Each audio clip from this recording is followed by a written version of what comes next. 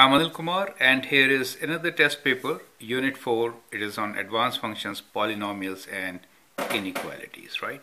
You can pause the video, copy these questions and then try them out. Perfect. So these are a few questions, four on the first page. And now let's move on to the next page. And we have application questions on the next page. You can copy these questions and then try them out, get prepared for your own test, right? I have solutions to some of them and I'll be providing you links so that you can go through those links and then check out the solutions.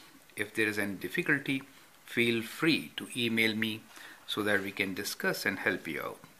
So these are a few questions and then on the last page we have an application question rather two communication questions are here have a look at it and it ends with an inequality.